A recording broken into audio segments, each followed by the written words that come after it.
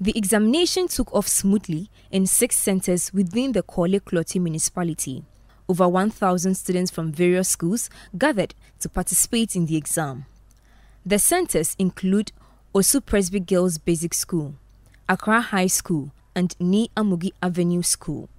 Citi News's visits to these areas saw officials from the Municipal and Regional Education Office monitoring the process.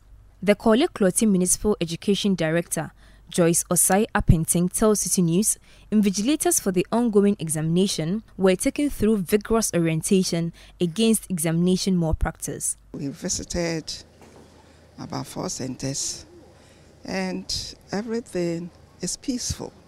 We have not yet met any challenge. For now, everything is smoothly ongoing. Yeah. What has been your interaction with the supervisors? How are the students reacting to the paper? Know, as for the invigilators, we started working on them earlier before this day because we've told them that writing of the paper is for the candidates. Theirs is to ensure that there is a convenient atmosphere for them to write. 147 students sat for the papers at the Accra High School. An official with the Korle Klottey Educational Directorate, who was at the center to monitor affairs, spoke to Citi News.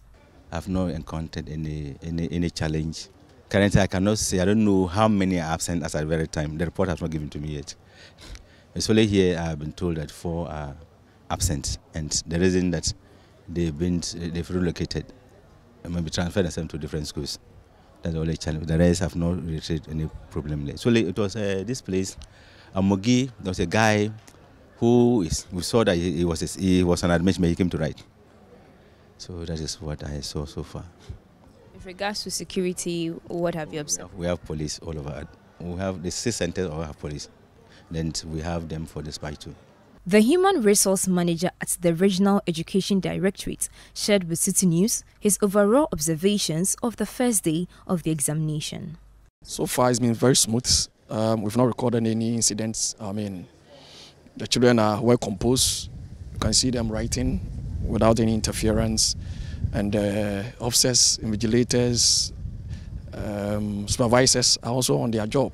So, so far, all the, the centers we've visited, everything is going on very well, as all of us are expecting. The Basic Education Certificate Examination runs through from Monday to Friday. Now, participating students have been encouraged to write the exams devoid of examination malpractice. Reporting for Citi News, Bevlin, London.